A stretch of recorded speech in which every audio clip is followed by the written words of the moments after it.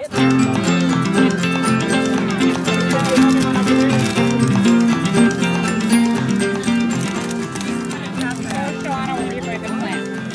going to plant some peas. Bring the children together with parents and people interested in gardening and people that have knowledge on gardening and school curriculum. Put everything together and um, create this wonderful space outside where uh, the children can use their imaginations, be actively involved in the garden activities.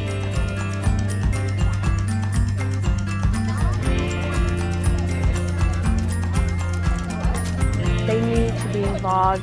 We use magnifying glasses, for example, to look for insects. Um, they know what the difference is between an insect and, let's say, a spider. So um, uh, they know a lot of things and uh, they do participate actively, not just sitting.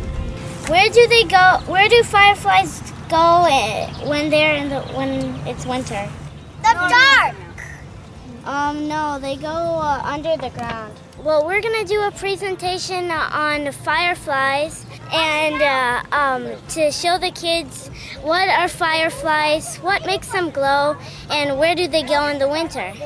They, what eats them is frogs, fish, birds, and other fireflies. We use a variety of ways to do the teaching. It's not, it's sometimes from a book, sometimes from using um, um, adults, sometimes using other students. What did you write? So we try to keep it interesting.